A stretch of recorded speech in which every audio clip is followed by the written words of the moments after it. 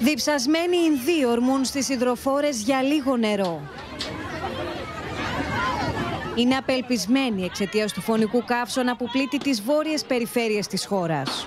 लाइन में लगना पड़ता सुबह से भूखे प्यासे बैठे रहते हैं पानी के लिए सब लोग इसीलिए दिक्कत हो रही है ना यहाँ पे बेचारे जिनके पास छोटे छोटे बच्चे अपने बच्चों को लेके पड़े रहते हैं यहाँ पे τα θερμόμετρα σπάνε στην Ινδία με τον υδράργυρο να ξεπερνά τους 50 βαθμούς Κελσίου και την ακραία ζέστη να λυγίζει εκατοντάδες πολίτες. Πάνω από 200 χάνουν τη ζωή τους σύμφωνα με το Sky News.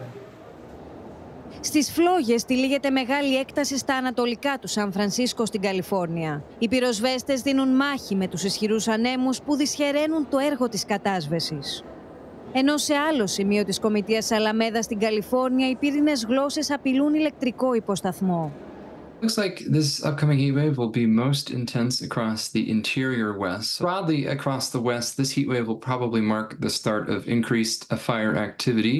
Την ίδια ώρα, οι δυτικές Ηνωμένες Πολιτείες προετοιμάζονται για ένα επιθετικό κύμα καύσωνα που αναμένεται να φέρει θερμοκρασίες ρεκόρ στην κεντρική κοιλάδα της Καλιφόρνιας, σύμφωνα με την Εθνική Μετεωρολογική Υπηρεσία.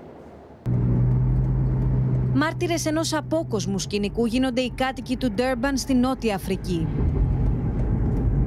Ένας οδηγός καταγράφει με το κινητό του ένα γιγάντιο μαύρο σύννεφο που μοιάζει με ανεμοστρόβιλο και κουβαλά σωρό από συντρίμια όπως αποκαλύπτει ο ίδιος το Reuters.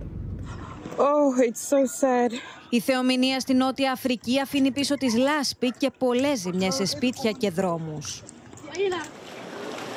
Η Σρι Λάνκα βουλιάζει στα λασπόνερα της βροχής.